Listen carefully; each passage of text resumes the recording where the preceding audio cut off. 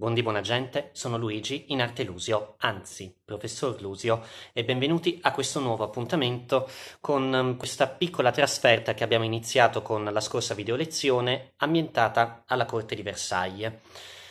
Oggi uh, vi do un consiglio che um, non ho mai dato nei miei video precedenti, ovvero se già non lo fate, mh, prendete carta e penna e prendete appunti, segnatevi i nomi perché ragazzi veramente non penso di aver mai fatto un video più complesso, più pieno di personaggi di questo. E ho seriamente paura che um, qualcuno possa andare in confusione perché probabilmente non riuscirò a spiegarmi bene, magari mi perderò io stesso nel meandro di tutti uh, i personaggi di cui vi parlerò, quindi per sicurezza afferrate un foglio di carta, prendete una penna e segnatevi a mano a mano che li nominerò tutti i nomi di tutti i personaggi, così almeno avrete una, un elenco dei personaggi eh, di questa storia che potrebbe aiutarvi magari a non perdere il filo. Bene, perché la storia di cui vi parlerò oggi non riguarderà tanto uno o più personaggi storici, quanto piuttosto un'infestazione.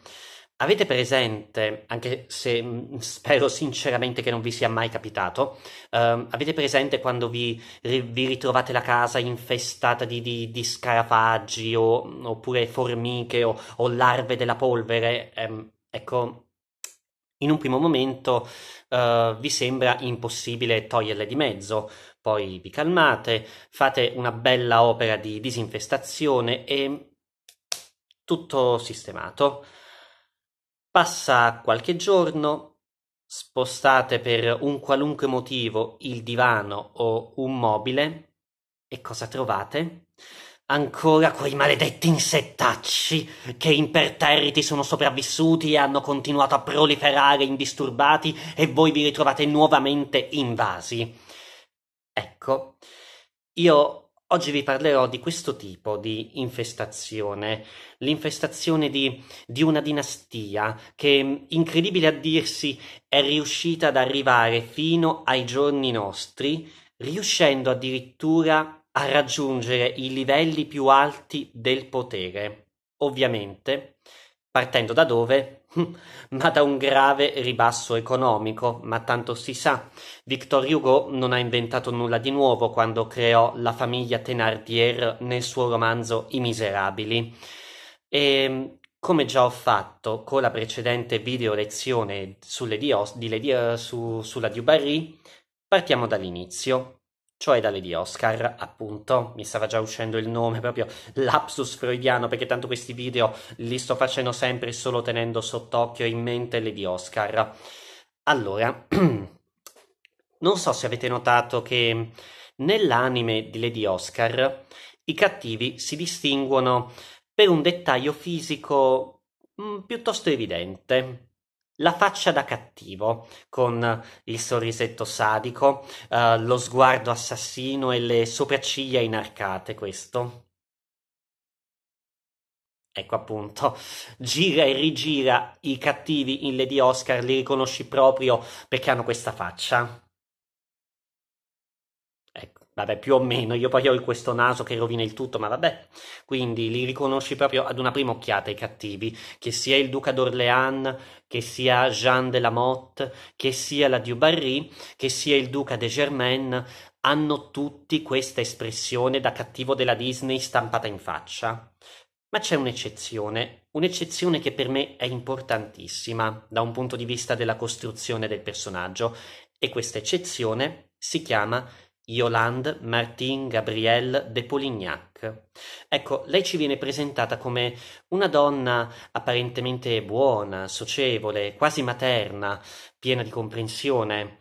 Ma lei non è, non è, niente di tutto questo, anzi, è un'arrampicatrice sociale, anzi, come direbbe Tina Cipollari, sei un'arrampicatrice sociale. Ecco, una sanguisuga, un intrigante e a giudicare da, dalla scena di quell'episodio dove c'è il lampadario che quasi zaccanna Oscar, direi anche una assassina a sangue freddo. Eppure sono pochissime le volte in cui la vediamo sfoggiare uno sguardo da cattiva. Si presenta sempre come l'amica che tutti vorremmo avere. E quest'aria da finta buona la rende, a mio parere, a parte la cattiva più pericolosa dell'universo di Lady Oscar, ma anche uno dei personaggi meglio costruiti di tutto l'anime e anche del manga, secondo me. Nel manga proprio a maggior ragione è molto più, um, um, eh, da un punto di vista introspettivo, è molto più sfaccettata ancora. Ma anche qui um, è d'uopo la solita domanda di routine, una domanda alla quale sarete già tutti abituati. La Polignac Fu davvero un'arrampicatrice sociale che si approfittò volutamente del buon animo di Maria Antonietta per farsi dare da lei ricchezze e cariche per lei e per i membri della sua famiglia? Ebbene, mm, molti storici sono in dubbio al riguardo Ah, vi aspettavate che vi, che vi dicessi no, non è vero, no, invece è così. Eh no, eh no, stavolta proprio vi ho preso in contropiede. Ah, tutti gli storici non sanno come rispondere a questa domanda. Eh. Allora, è vero che i Polignac approfittarono ampiamente della benevolenza di cui godevano con la regina e sappiamo che Yolande Polignac svolse forse il ruolo più importante affinché ciò accadesse ma risulta difficile dire con esattezza cosa provasse la Polignac nei confronti di Maria Antonietta. Mm, fu anche lei un'approfittatrice mossa da soli intenti egoistici e da sete di potere, o fu davvero una amica sincera di Maria Antonietta? A tutt'oggi risulta difficile trovare una risposta certa, ma ognuno può farsi una propria idea. Ed io, come amo ripetere, come ormai saprete già a memoria, ritengo che la verità sia da trovarsi sempre nel mezzo. Ma chiudo qui questo lungo preambolo introduttivo e incomincio a narrarvi la storia dell'ascesa di Yolande Martin Gabrielle, contessa e poi duchessa di Polignac. E incominciamo da un'altra contessa di Polignac, la contessa Diane de Polignac, un personaggio che io, in anni e anni di letture di biografie su Maria Antonietta, ho visto citato qui e là, ma eh, senza mai una specifica precisa su chi fosse costei e che ruolo avesse a corte, e solo di recente sono riuscito ad approfondire la sua figura, giungendo ad una scoperta dell'acqua calda. Vabbè, comunque, per me che non lo sapevo, è stato un arricchimento personale, ovvero Diane de Polignac era molto probabilmente la capofamiglia dei Polignac, colei che, um, che reggeva le fila e decideva mosse e destini all'interno del clan Polignac, o almeno lo fu quando la fortuna di questa famiglia iniziò la sua ascesa. Ma chi era Diane de Polignac? Diane era una nobildonna facente parte della piccola corte di Madame Elisabeth, la sorella minore di Luigi XVI. E a detta da chi la conobbe, eh, Diane era brutta come la fame, ma con un carattere tagliente che non la faceva certo sfigurare in mezzo alla corte. Tra le sue doti di maggior spicco um, c'era la sua capacità di avere sempre l'ultima parola e di riuscire a contrastare verbalmente tutti quelli che avevano la sfortuna di scontrarsi con lei. Praticamente era una Lady Olenna Tyrell con, con qualche decennio in meno, ecco. um, a causa poi della sua faccia rotonda, contornata da, da, un naso da uccello rapace e chiazzata di rosso, il che mi lascia pensare, ma questa è una mia idea, che forse soffrisse di dermatite seborroica, che è una patologia cutanea di cui eh, soffro anch'io, come magari avrete notato. Eh.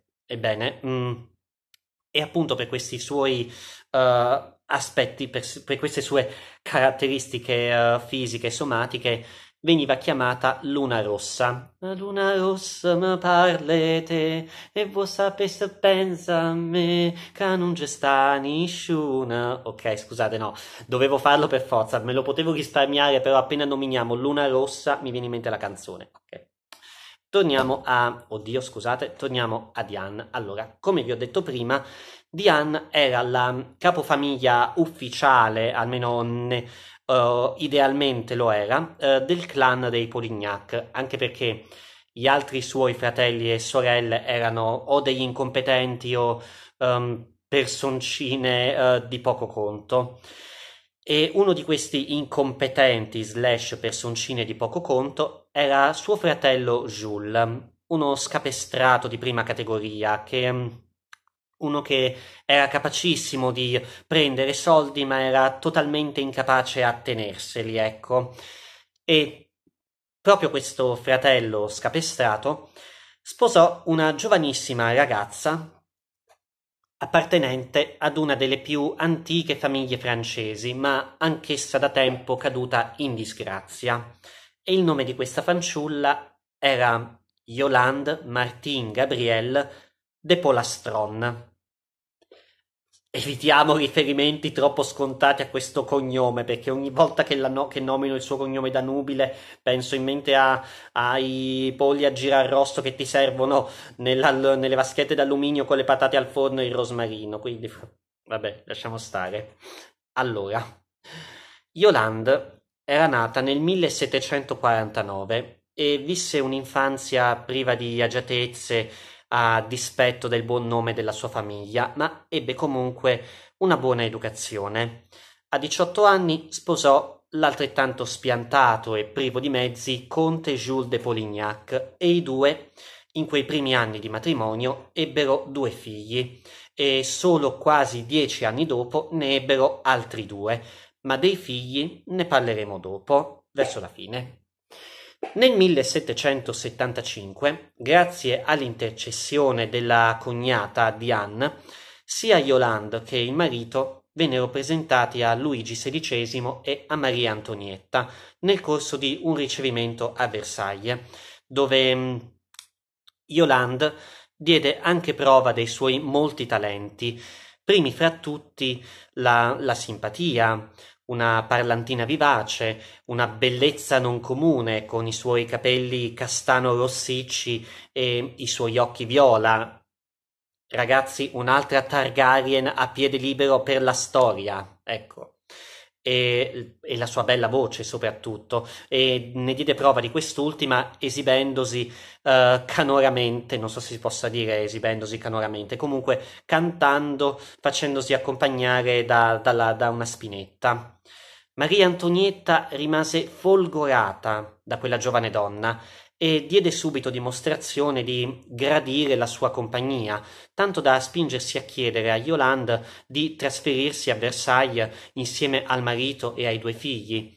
Ma Yolande rispose sinceramente, e non possiamo dire con quanto opportunismo, um, e né se il tutto partì da lei, dal marito o dalla cognata che magari la spingevano da dietro, o se fu una cosa totalmente spontanea, eh, fatto sta che disse che loro non avevano i mezzi economici per permettersi di vivere a Versailles, dal momento che il marito, appartenente al reggimento dei dragoni reali, aveva un appannaggio piuttosto esiguo, il che era vero ma Maria Antonietta, all'epoca ancora giovane e ingenua, molto infantile e non ancora abbastanza matura, decise di risolvere il problema preoccupandosi di aumentare personalmente l'appannaggio del conte di Polignac, in modo così da permettere ai Polignac di trasferirsi a Versailles.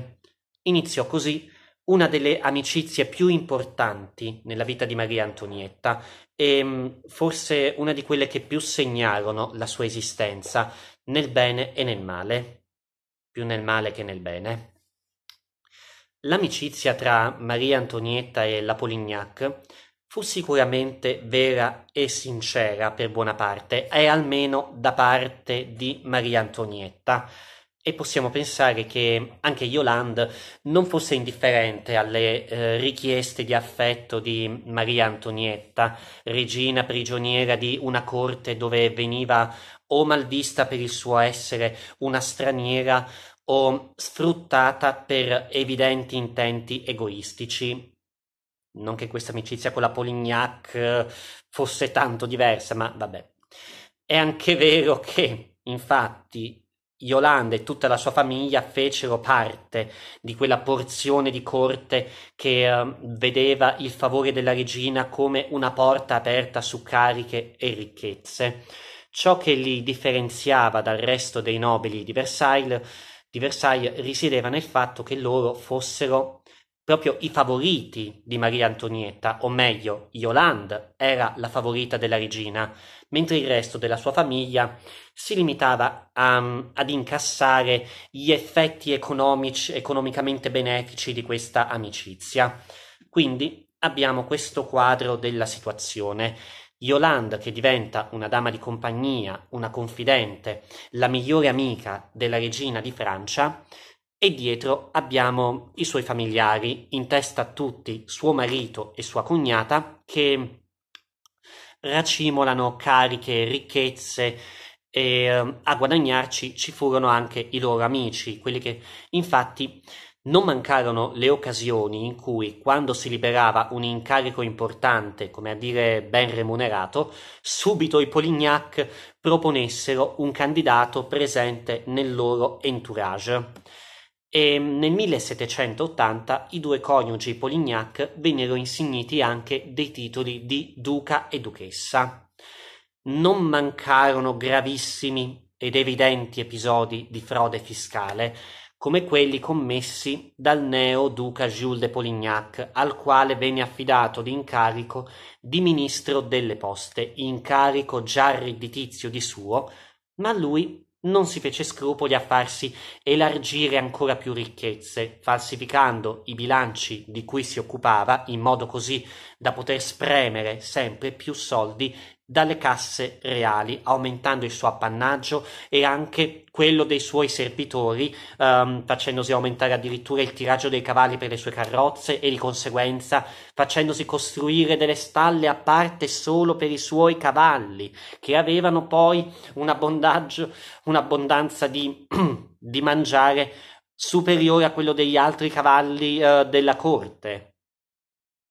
Giusto per farvi capire. Dopo di ciò, uh, viene abbastanza spontaneo credere che i Polignac ci misero molto del loro nel creare le premesse del tracollo finanziario che avrebbe investito la Francia e che avrebbe aperto le porte allo scoppio della rivoluzione francese. E nonostante i suoi plateali imbrogli fiscali, non sembra che Jules ebbe problemi, non venne ripreso, non venne rimproverato, non, venne, non gli venne tolto il suo incarico, Assolutamente niente. Gli effetti di questo favoritismo reale si fecero subito sentire. Infatti, tutti i nobili che si videro scavalcati mh, da, da questi nuovi arrivati privi di alcun merito andarono a rimpinguare il, il, sempre più grande esercito di avversari di Maria Antonietta e ben presto iniziarono a circolare tra i famosissimi libelli denigratori che venivano stampati e diffusi con il beneplacito di persone addentro alla corte e fatti arrivare fino a Parigi e che prendevano di mira la regina austriaca, iniziarono, come dicevo, iniziarono a spuntarne altri, nei quali tra le preferenze sessuali della regina che già di per sé veniva dipinta come una messalina che si concedeva al suo cognato, il giovane conte d'Artois e a tanti altri uomini della corte, ecco, iniziarono a venire annoverate anche le grazie femminili. In altre parole, secondo i nemici dei Polignac e della regina, quella tra Maria Antonietta e Yolande non era una semplice amicizia, ma una vera e propria relazione lesbica e ciò andava a rendere Maria Antonietta una messalina peggiore di quanto già non fosse rappresentata. ad oggi possiamo dire che queste accuse erano completamente infondate, ma ebbero comunque degli effetti che si sono riverberati fino ai giorni nostri, ma ne parlerò a fine video in riferimento alla cultura generale. Se possiamo dire che tra Maria Antonietta e Yolande non ci fu niente di più di una sincera amicizia per quanto interessata, sappiamo che eh, ci fu una relazione adulterina all'interno del clan Polignac e la famiglia reale. Infatti, Louise de Polastron, cognata di Yolande in quanto moglie di suo fratello, attirò le attenzioni del conte d'Artois, fratello minore di Luigi XVI e successivamente futuro re Carlo X dopo la restaurazione della monarchia. Ma più che una relazione adulterina, sembra che si trattò di una vera e propria storia d'amore questa. Il conte d'Artois era all'epoca sposato con Maria Teresa di Savoia, che gli aveva dato quattro figli, ma di base il loro era il tipico matrimonio dinastico, senza amore, e quello tra lui e Louise fu sicuramente un sentimento vero e tenero, anche perché sembra che Louise fosse al di fuori degli intrighi della sua famiglia d'adozione ed era ritenuta, cosa abbastanza strana all'interno del nucleo dei Polignac, era ritenuta da tutti una donna molto buona e molto riservata. Dopo lo scoppio della rivoluzione, Louise avrebbe seguito il conte d'Artois in esilio e gli sarebbe stato accanto fino alla sua morte prematura, avvenuta nel 1804 a causa della tubercolosi. Il conte d'Artois ne fu talmente colpito che eh, fece voto di castità in ricordo della sua amata. Tutta questa parentesi solo per uh, dirvi quanto il clan dei Polignac fosse proprio addentro non solo alla corte, ma proprio alla famiglia reale e in seguito i figli di Yolande non, si, non sarebbero stati da meno, ma vedremo. Ma per tornare al rapporto tra Yolanda e Maria Antonietta, è dopo nominare quella che era un'altra figura importante all'interno della cerchia degli affetti di Maria Antonietta. Avete visto che ho fatto bene a consigliarvi di segnarvi i nomi a mano a mano? Ecco, segnatevi anche questo nome, perché adesso Così come nel video su Madame du Barry ho aperto un'ampia parentesi sulle Mesdames Tante, le tre ziette, colgo l'opportunità per aprirne una anche su questa figura molto importante nella storia di Maria Antonietta, ovvero la principessa di Lamballe. La principessa di Lamballe non era francese, bensì italiana di nascita. Infatti il suo nome da nubile era Maria Teresa Luisa di Savoia-Carignano. Era andata in sposa all'età di 18 anni a Luigi Alessandro di Borbone, principe di Lamballe e cugino dei principi reali. Un pessimo soggetto a dir poco, essendo dedito ad una vita dissoluta. Il matrimonio durò meno di due anni, dal momento che il principe morì per, eh, a causa di una malattia venerea di cui già soffriva. La neovedova, la neovedova principessa di Lamballe, scelse di non risposarsi per non rischiare di perdere i privilegi che le dava il suo titolo, che era un titolo molto alto, la rendeva praticamente una cugina acquisita della regina. Ebbene, um, e lo fece anche um, per restare accanto al suocero, il duca di Penthièvre, l'unico che si era dimostrato buono con lei in quel primo anno in Francia e quindi scelse di occuparsi di lui come se fosse stato suo padre. La Lamballe fu la prima persona con la quale Maria Antonietta, da poco giunta a Versailles, strinse un legame e che divenne subito una, un'amicizia forte e sincera, grazie anche al buon carattere della Lamballe, eh, dote per la quale era elogiata e ben voluta da tutti, anche se eh, la sua buona reputazione non l'avrebbe salvata dalla penna dei libellisti che avrebbero dipinto anche lei come un'amante lesbica della regina. E grazie a questa amicizia alla Lamballe venne conferito il titolo, da lungo tempo caduto in disuso, eh, di eh, sovrintendente della casa della regina. Praticamente era la responsabile del nucleo abitativo della regina di Francia, quindi la dama più importante nel seguito di Maria Antonietta ma la Lamballe era troppo mite e troppo calma per la frizzante ed euforica giovane Maria Antonietta, che subito dopo concentrò i suoi affetti nella Polignac, con la quale, pure in un primo momento, la stessa Maria Antonietta aveva sperato che anche la Lamballe stringesse un'amicizia, dal momento che uno di quei casi uh, più unici che rari nella storia uh, sia la Lamballe che la Polignac erano nate lo stesso giorno e entrambe erano nate l'8 settembre del 1749. Ma la relazione tra le due fu subito un duello in stile Eva contro Eva, con la Polignac nel ruolo di Anne Baxter e la Lamballe in quello di Bette Davis. Quindi fatevi voi due calcoli. Se non conoscete Eva contro Eva, andatevelo a recuperare perché è un capolavoro del cinema mondiale, quindi beh, guardatelo e capirete il perché di questo parallelismo. Bene.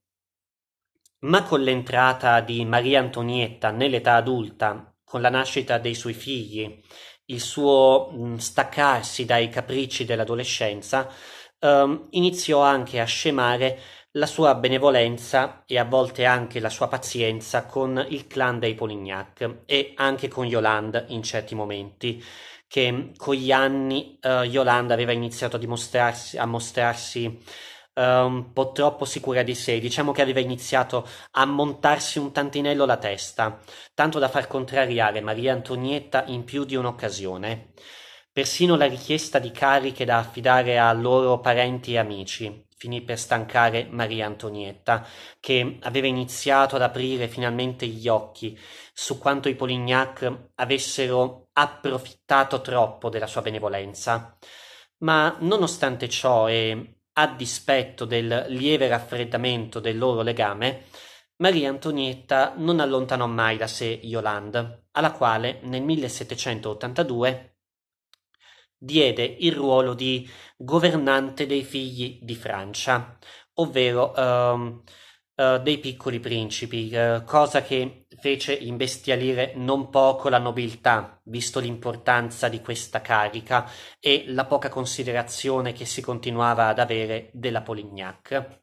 Ma arriviamo alla fine allo scoppio della rivoluzione e proprio all'indomani della presa della Bastiglia iniziò a circolare un volantino nel quale erano riportate uh, una, li- una, lunga lista di nomi delle, delle persone uh, che il popolo voleva vedere uh, giustiziate, diciamo era l'elenco delle teste che secondo il popolo dovevano essere decapitate per riportare l'ordine in Francia. E tra i primi nomi spiccavano quello di Maria Antonietta al primo posto, al secondo posto quello della Polignac, al terzo posto quella del conte d'Artois. Seguivano poi i nomi di altri nobili, di cui non ce ne può fregare niente, scusate. La cosa allarmò non poco Maria Antonietta, che diede subito ordine alla Polignac di partire assieme a tutta la sua famiglia. Manco a dirlo, il conte Jules e la contessa, il duca Jules, voglio dire, il duca Jules de Polignac e la contessa Diane e il resto dell'entourage uh, uh, dell'entourage Polignac non se lo fecero ripetere, mentre sembra che Yolande fu più restia a partire, non volendo lasciare la regina, ma alla fine anche lei cedette alle pressioni della regina che le chiese di fuggire almeno per il benessere dei suoi due figli più piccoli che avevano all'epoca dieci anni. E fu così che il clan dei Polignac, dopo aver praticamente um, uh, strizzato fino all'osso le casse statali, dopo essersi arricchiti a discapito del popolo che adesso si stava finalmente destando, i Polignac Fuggirono da Versailles in piena notte, camuffati da servi e domestici, per evitare di essere riconosciuti e catturati dal popolo. Assieme a loro fuggì anche il conte d'Artois con moglie e figli al seguito.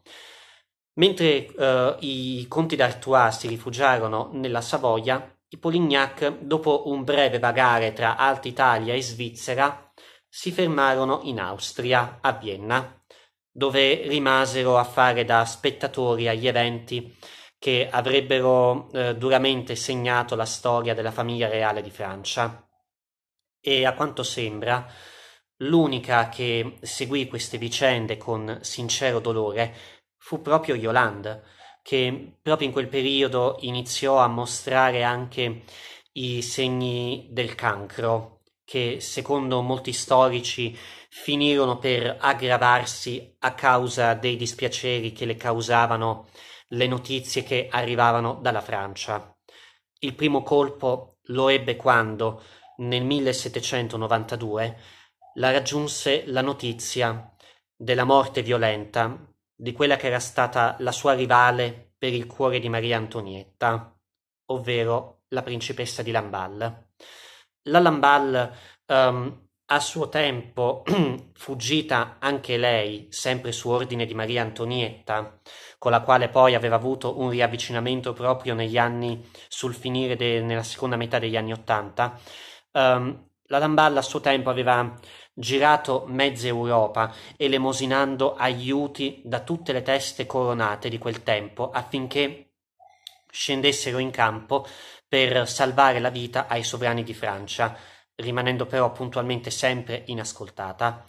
Alla fine scelse di uh, ritornare in Francia per uh, restare accanto a Maria Antonietta, ma venne separata da lei uh, quando quando nel 1792 con l'abbattimento della monarchia e l'instaurazione della Repubblica i sovrani vennero imprigionati nella torre del Tempio. Anche la Lamballe venne tenuta in carcere e ci rimase fino al settembre di quello stesso anno, quando scoppiarono appunto i tristemente famosi massacri di settembre. Dal momento, ma ehm, Co- cosa furono questi massacri di settembre? Ebbene, dal momento che l'esercito francese stava rovinosamente perdendo contro gli eserciti stranieri uh, che premevano ai confini per invadere la Francia e ristabilire l'ordine monarchico, alcuni rivoluzionari populisti, per veicolare altrove uh, la rabbia popolare, come fanno tanti altri politici populisti anche qui da noi in Italia, uh, ebbene, quest- per veicolare altrove la rabbia popolare, dissero che se la Francia stava perdendo la guerra, la colpa non era delle scelte strategiche uh, degli eserciti, no, la colpa era dei nobili e degli esponenti del clero rinchiusi nelle carceri, che dalle loro prigioni stavano complottando con i nemici della rivoluzione fuori dalla Francia, non si sa bene come, non si sa bene per intercessione di quale Spirito Santo, non si sa bene secondo quale metodo alla Charles Xavier che riuscivano a comunicare mentalmente, non si sa. Um, cioè, dissero praticamente che la colpa del, delle, loro, delle, loro, sconfitte era la colpa dei, dei prigionieri nobili che dalle carceri stavano complottando con Austria, Inghilterra, Prussia, Russia, Polonia. Quest... Oh. Beh, un ragionamento un po' astruso se ci si pensa, ma come sappiamo benissimo anche noi, i discorsi populisti servono a parlare più alla pancia delle persone e non alla loro testa. Infatti il popolo, credendo a queste voci, assaltò le carceri e massacrò sanguinariamente tutte le persone lì rinchiuse, donne, uomini, vecchi e bambini, indistintamente. E tra le persone massacrate in quei giorni ci fu anche la povera principessa di Lamballe. Non scenderò nei dettagli della sua morte perché sono, sono troppo orribili da descriversi.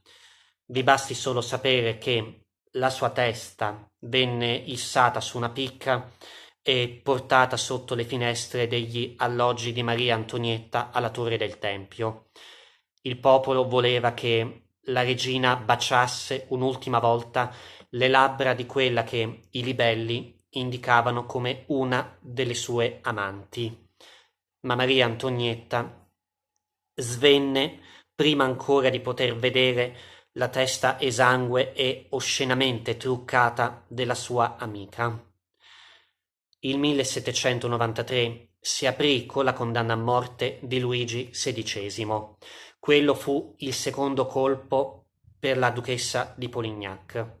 E infine, il 16 ottobre di quello stesso anno, quando anche Maria Antonietta venne giustiziata, Yolande Polignac ebbe il colpo finale, come sua figlia che la vegliò ultimi, nei suoi ultimi mesi di vita, uh, come, come, la figlia della Polignac ebbe a dire alla pittrice di corte, uh, Madame Vigée Brun, uh, alla notizia della morte della regina, il volto di, di Yolande Polignac sbiancò completamente, divenne terreo, si potevano già leggere sul suo viso i segni della morte. Infatti, Yolande Polignac morì un mese e mezzo dopo uh, la, la, decapitazione di Maria Antonietta. Non morì di crepacuore, come dissero molti all'epoca, ma certo è che furono i dolori per queste perdite a causare il crollo definitivo della sua salute già gravemente minata. Il marito di Yolande, Jules, sopravvisse, anzi riuscì addirittura anche a fare carriera in Austria e successivamente in Russia alla corte di Caterina II, dove poi in seguito lo avrebbe raggiunto anche sua sorella Diane. Prima di morire, nel 1817, Jules de Polignac ebbe la soddisfazione di venire nominato pari di Francia dopo la restaurazione della monarchia. Diane morì l'anno seguente, non prima di aver scritto e dato alle stampe una sua biografia della cognata, un'infiocchettata agiografia nella quale cercava più che altro di ripulire tutti loro, tutti i Polignac delle colpe di cui erano stati accusati. Vabbè.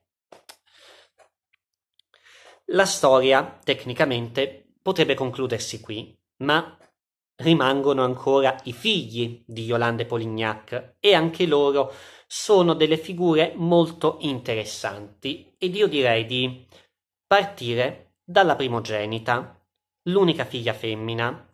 Ovviamente ritorniamo sempre a Lady Oscar, dove vediamo la figlia della Polignac, una bambina di 11 anni di nome Charlotte, che per non essere obbligata a, a sposare un nobile schifoso, scusatemi il termine, che ha più di 40 anni, si uccide gettandosi giù da uno dei tetti di Versailles in una delle scene più traumatiche di tutto l'anime. Seriamente, quella scena.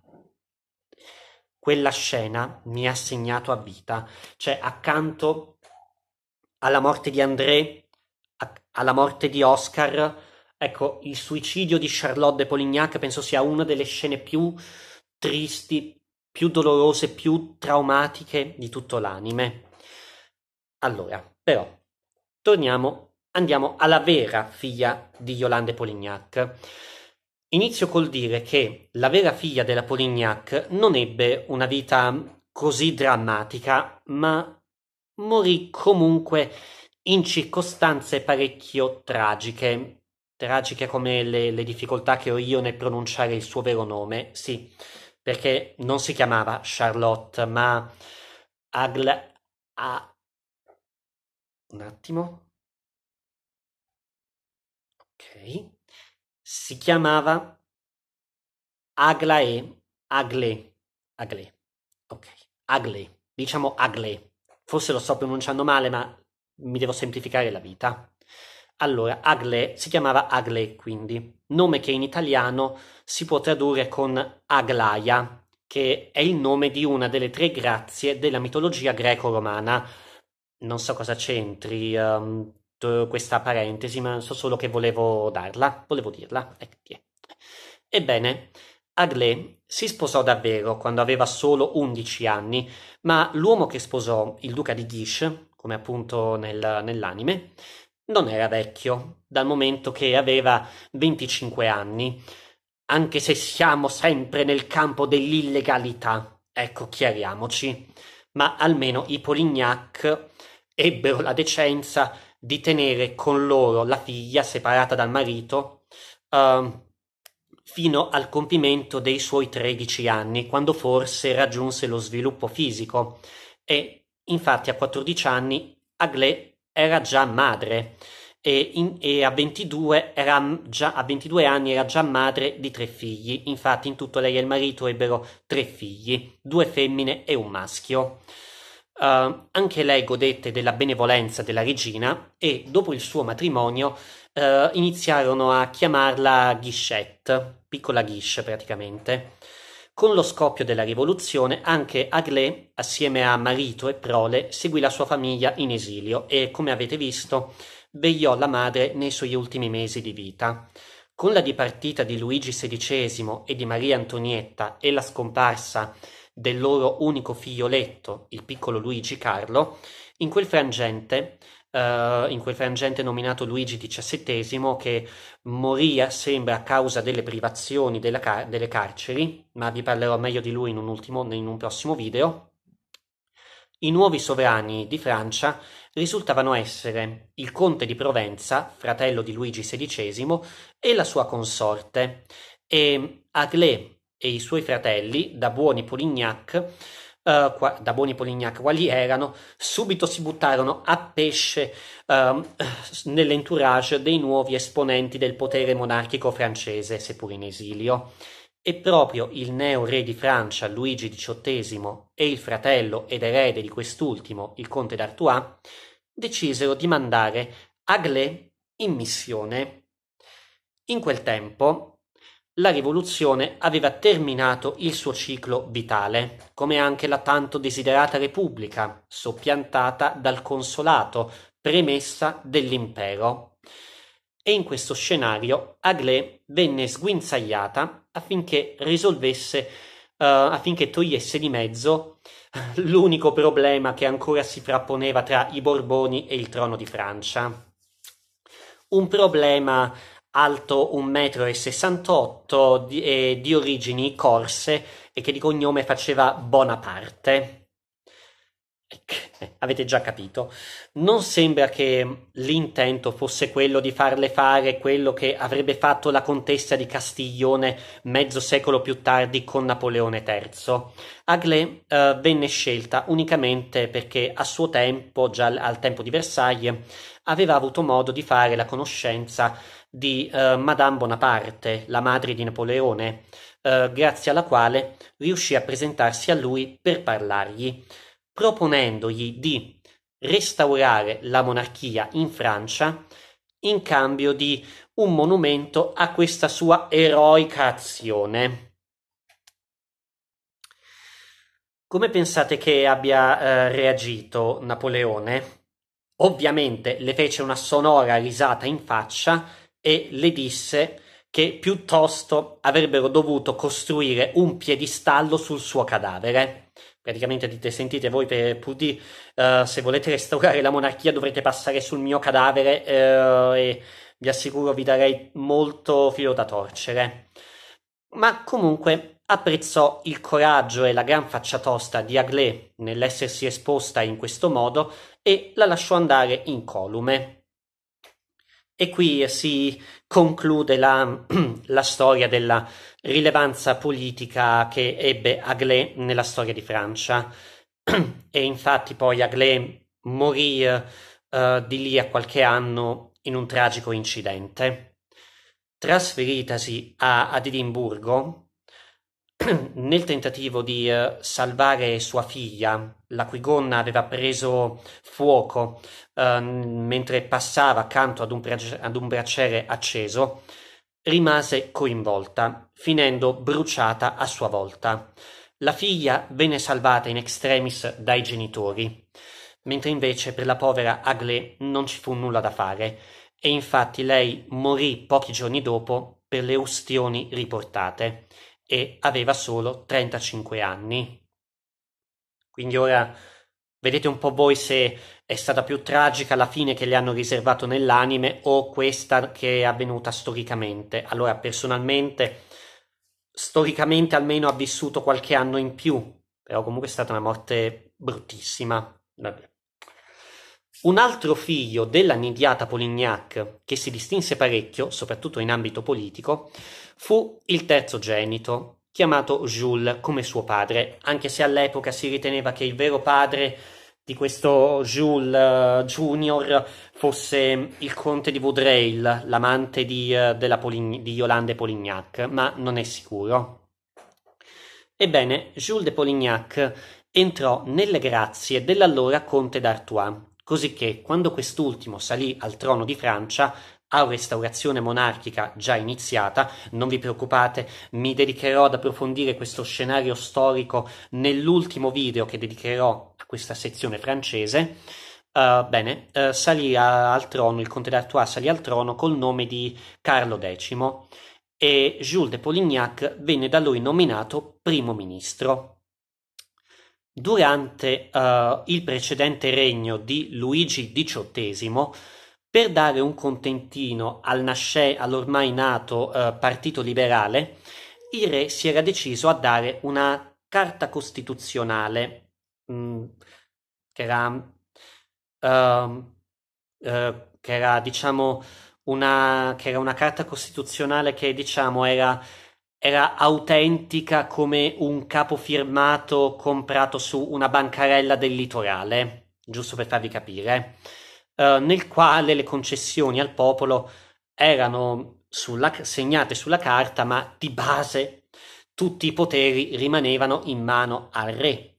Ma Carlo X, essendo un acceso reazionario, aveva intenzione di togliere anche questa parvenza di costituzionalità fittizia e Jules de Polignac, altrettanto reazionario e altrettanto ultramonarchico conservatore, gli dava manforte. C'è da dire che Jules però credeva in maniera ragionevole, perché fesso non era, che una monarchia costituzionale fosse la forma di governo migliore in quel frangente storico, ma la trovava incompatibile sotto molti punti di vista con il concetto stesso di monarchia rappresentata dai Borbone, in parole povere, c'entra poco ciò che è più ragionevole per il bene comune. L'importante è che le classi governative stiano messe meglio di tutti gli altri. Questo era il pensiero del governo Polignac. Scusate l'uscita un po' anarchica con questo mio uh, punzecchiare un poco questo ragionamento che io trovo veramente balordo, ma il concetto purtroppo era quello e lo è anche un po' oggi, anche se oggi viviamo in una democrazia, ma scusate la smetto di fare l'anarchico. Ma al tentativo di Carlo X e del suo governo Polignac di riportare l'assolutismo in Francia, um, eh, questo tentativo cozzò contro il malcontento popolare che, avendo capito ormai come si doveva rispondere a questi abusi di potere, diede inizio a cosa? Ma ovviamente ad un'altra rivoluzione, la rivoluzione di luglio del 1830, una rivoluzione lampo che durò giusto tre giorni, tre giorni che segnarono la caduta di Carlo X, costretto ad abdicare e, e alla caduta anche del governo Polignac. Ma non fu instaurata di nuovo la Repubblica, no, assolutamente no, per carità. Ma una monarchia costituzionale, stavolta almeno concreta, non fritta, con al governo gli eterni cugini dei Borbone, gli Orléans. Jules de Polignac, comprendendo la mala parata, tentò la fuga, ma venne riacciuffato prima che potesse imbarcarsi per l'Inghilterra, riportato a Parigi e condannato alla segregazione al confino per vent'anni, salvo poi venire graziato e vivere in pace i suoi ultimi anni. Ok. Per quanto riguarda gli altri due figli dei Polignac, non hanno fatto nulla di così eclatante da venire ricordato, ma diciamo che il quartogenito, Camille Henry, ebbe un figlio, che a sua volta ebbe un altro figlio, che a sua volta ebbe un altro figlio, e questo figlio fu il padre del principe Ranieri di Monaco, il marito di Grace Kelly e quindi l'attuale principe di Monaco, Alberto II, è un discendente diretto di Yolande Polignac e infatti il loro cognome è Grimaldi Polignac. Come si dice, l'erba cattiva non muore mai, anzi prospera in ogni circostanza. Fiu, bene. Siamo arrivati alla fine della storia di questa famiglia, formata in buona parte da arrivisti che, possiamo dirlo, ce l'hanno fatta, se sono giunti fino ai giorni nostri. E adesso in chiusura, cultura generale. Manco a dirlo, i Polignac, soprattutto Yolande, sono immancabili in ogni biografia dedicata a Maria Antonietta e ogni autore e ogni um, autore da, uh, uh, ha sempre dato la sua al ruolo che ebbero all'interno della storia francese dell'Ancien Régime, soprattutto per quanto riguarda Yolande Polignac, tra chi la considera una comune arrivista, come fa Stefan Zweig, eh, o chi in maniera più equilibrata eh, le riconosce un sincero affetto nei confronti di Maria Antonietta, ma che non le impediva di approfittarsene a sua volta, come facevano gli altri membri della sua famiglia, come riporta Antonia Fraser. Poi vi ho già parlato della rappresentazione che viene dato della Polignac nel manga e nell'anime di Lady Oscar, quindi non è necessario ritornarci sopra. E nel campo dei romanzi abbiamo Les Adieux de la Reine, uh, Les Adieux à di Chantal Thomas, a, al quale un, un romanzo storico, quasi un saggio, al quale ho dedicato un'ampia recensione a parte che uh, vi lascio linkata qui nel pallino magico se volete andarvela a recuperare. Ebbene, um, di, e qui ho già parlato sia del romanzo che del film da cui è stato tratto, ovvero Addio mia regina.